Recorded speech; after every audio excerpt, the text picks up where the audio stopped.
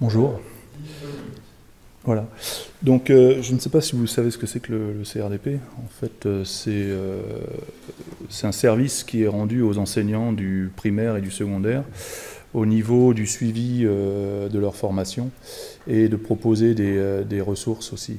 moi, je suis chargé sur la Corrèze de, de, tout ce qui est TIS, donc euh, ça tombe bien en Corrèze, euh, il y a 10 000 tablettes euh, qui sont donc prêtées aux collégiens. Tous les collégiens ont une tablette et tous les profs de collège ont une tablette. ça fait donc 800 profs qui se retrouvent avec une tablette et les élèves ont, ont, leur tablette à la fois à la maison et en classe. donc on se retrouve avec des éditeurs qui vous disent euh, oui, oui, il n'y a pas de souci, euh, nos manuels euh, fonctionnent sur les tablettes. Avant, c'était la même chose, ils nous disaient ça fonctionnait sur, sur Ubuntu. Et au final, rien ne fonctionne et on se retrouve avec des espèces de PDF qui sont mal scannés, fournis par les, par les éditeurs et qui, au bout de. Enfin, qui ne sont pas utilisés par les, par les enseignants.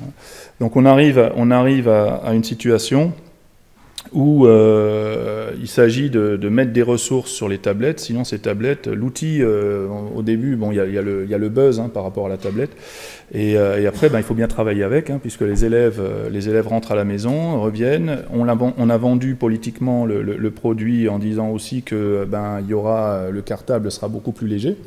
Hein. Euh, et euh, effectivement, ça partait d'un bon sentiment, sauf qu'au final, les éditeurs n'étant pas là, et puis euh, ben, le cartable, il était encore plus lourd avec les 600 grammes ou les, 300 grammes de la tablette. Hein. et donc, nous, CRDP, on s'est retrouvé à entendre tout ce qui se disait et on suivait cette opération de très près. Alors attention, c'est pas une, je précise, hein, ce n'est pas une expérimentation. C'est-à-dire que tous les gamins ont une tablette, tous les enseignants, ceux qui veulent, ceux qui veulent pas. Euh, il faut, euh, en fait, il faut former tout le monde. Hein. je veux dire, c'est un outil et qui est euh, dans les cartables des élèves au quotidien.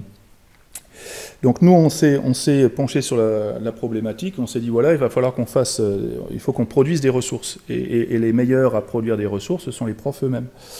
Donc on est parti de ce principe-là, et on s'est dit, on va faire un, un labo, un labo tablette. On crée un labo tablette avec des enseignants.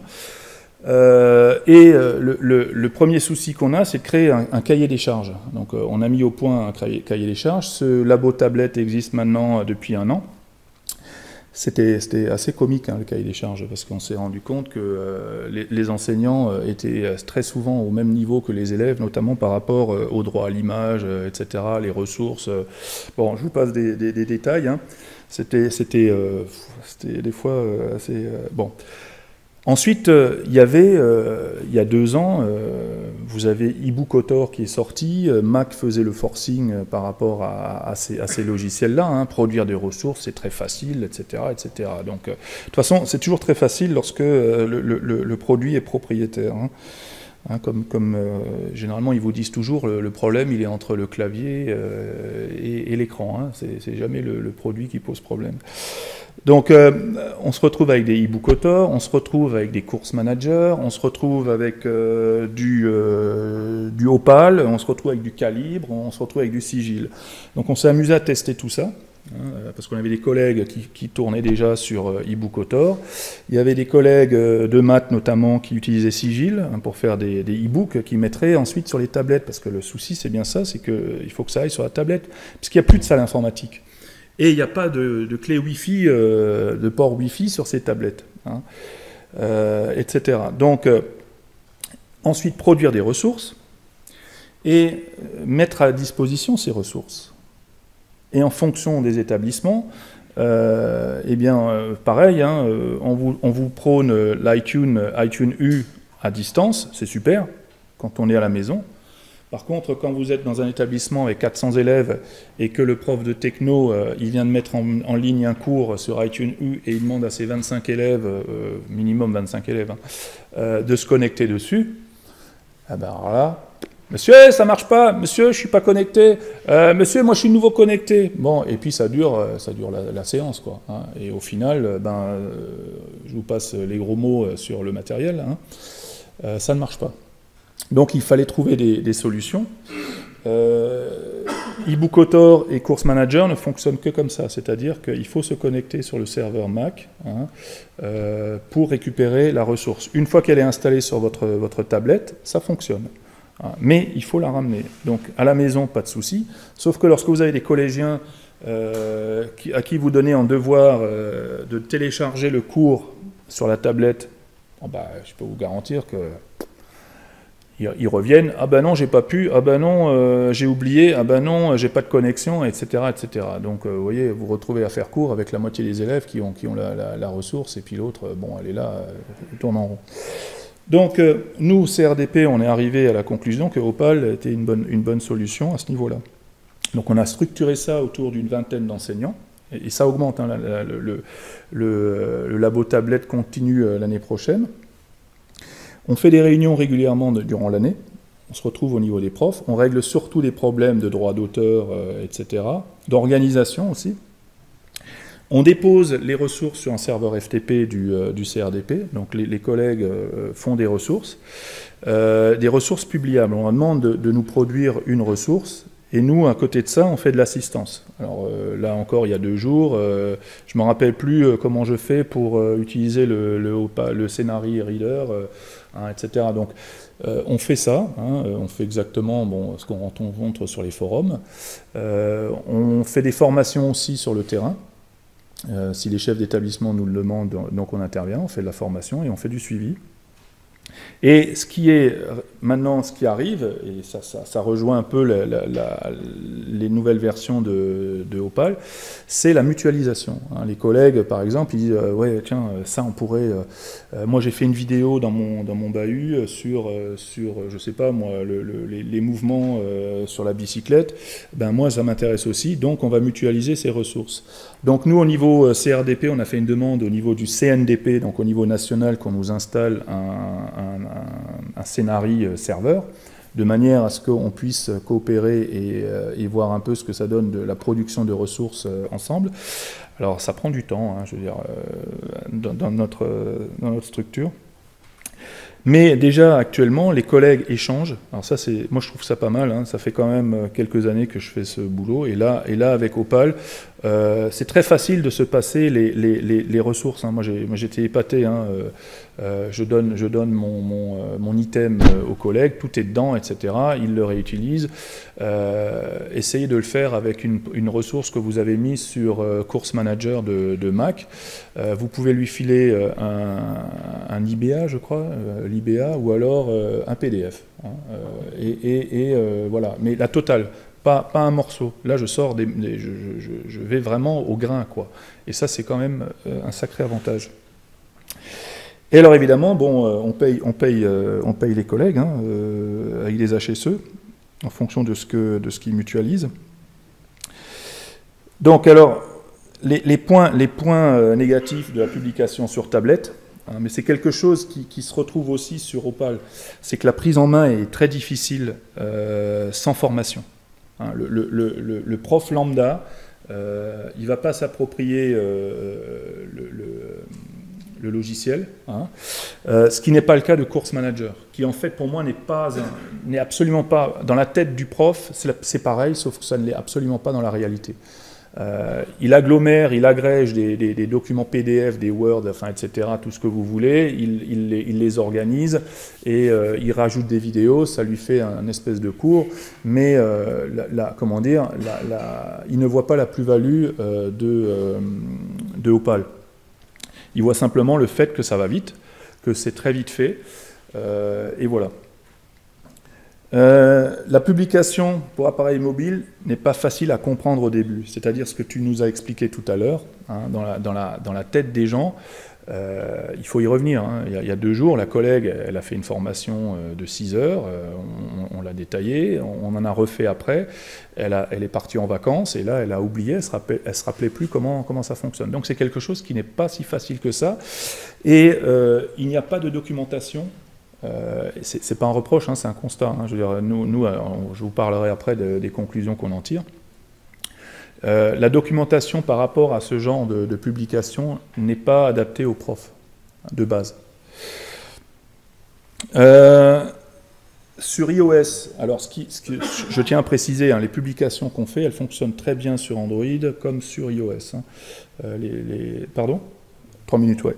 Donc euh, il est nécessaire d'avoir des interactions avec les autres applications. C'est-à-dire que lorsqu'un prof met une pièce jointe dans, son, dans son cours, il faudrait qu'elle s'ouvre comme sur, euh, sur Android, euh, un PDF par exemple, euh, sur lequel le gamin va écrire, va mettre ses réponses. Il, devrait s'ouvrir dans une, application comme, comme Acrobat Reader ou une autre. Voilà. et puis alors ce qui revient aussi, c'est qu'il y a un seul skin au niveau de la publication tablette, alors qu'il y en a au moins trois ou quatre sur la, publication. Alors ça, ça c'est les retours. Il y en a deux non, il y en a plus. Donc voilà. Alors là, j'ai les captures d'écran un peu. Alors l'interactivité. Alors je passe à les points positifs. Alors, les points positifs, si, si, hein, je veux dire, c'est quand même important. Alors, les, enseignants, une fois qu'ils ont, euh, testé, euh, testé la version euh, donc, Apple avec Course Manager, il y en a, ben, ils basculent il y en a qui basculent tout de suite sur, euh, Opal parce qu'ils n'ont pas de connexion Wi-Fi dans leur salle de classe, parce qu'ils sont sur le terrain, prof de gym, hein. prof de gym il est dehors. Alors prof de gym, euh, il utilise ça. Donc ça c'est un serveur, un un mini serveur avec une clé USB. C'est connecté. Vous, vous pouvez vous connecter hein, dessus. Hein. C'est la Pédagobox, vous, la, vous la chopez. Et dessus, il y a des ressources. D'accord Donc euh, le flux RSS euh, tout à l'heure, euh, je le mets sur un serveur, mais ça peut être une clé USB. Les élèves se connectent dessus, et je vous garantis que sur ce petit boîtier-là, qui vaut 30, allez, 40 euros avec la clé USB, 40 hein, euros, vous avez 25 élèves qui se connectent dessus, ils, se, téléchargent les vidéos, etc., sans aucun souci. Donc voilà. Donc ça, c'est les solutions pour ceux qui n'ont pas de Wi-Fi. Et ce n'est possible qu'avec Opal, parce que le flux RSS, je peux le déposer où je veux. D'autres collègues déposent le flux, donc la, ressource produite pour la tablette, sur le serveur pédagogique du collège, parce que les collèges ont un serveur pédagogique en Corrèze, donc ils peuvent le déposer dessus. Les élèves y accèdent et ne sortent pas sur le net.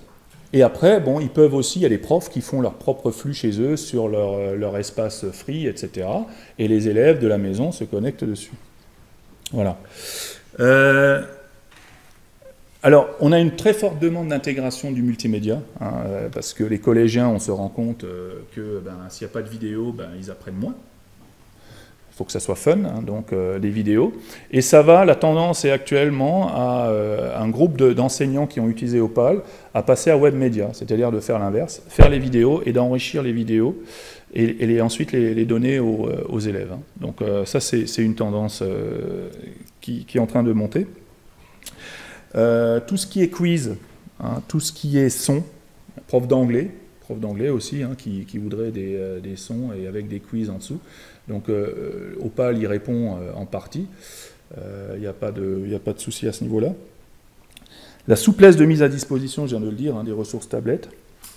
repasser au papier, c'est important. Hein. quand vous avez un gamin qui a sa tablette de fendu et puis que ben, arrive en classe et puis qu'elle est en réparation pour trois semaines, eh bien il faut bien lui filer le cours. Donc là, euh, il y a un collègue qui est là, il le fait directement de sa salle de classe, il génère le PDF, il l'envoie sur l'imprimante euh, du réseau et il récupère le cours, euh, je sais pas moi, en une demi-heure. Hein, c'est à peu près ça, d'accord Donc,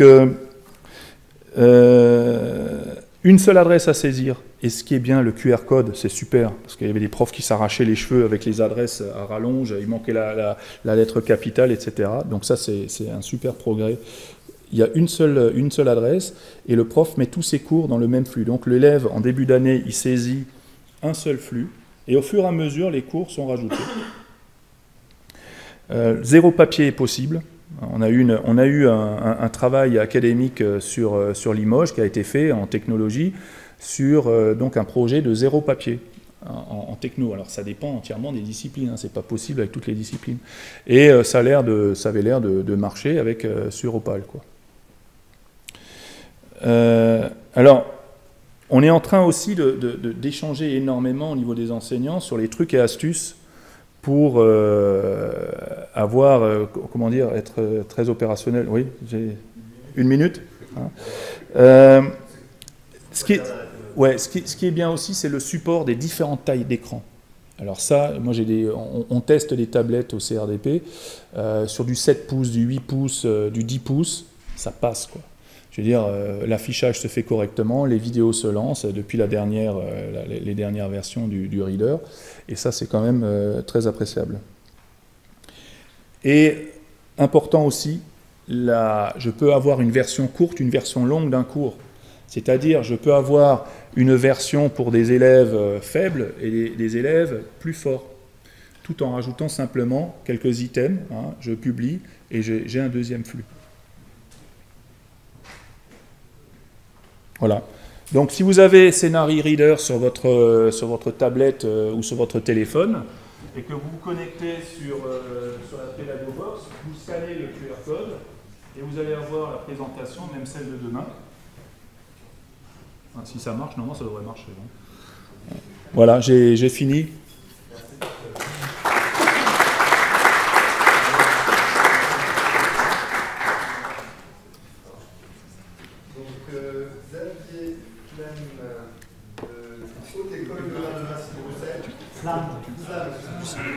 C'est encore plus. Un autre, un autre cas d'usage, 10 minutes, parce que on a fait trop de temps en retard que la session parallèle. D'accord. D'accord, c'est bon. Pas de souci.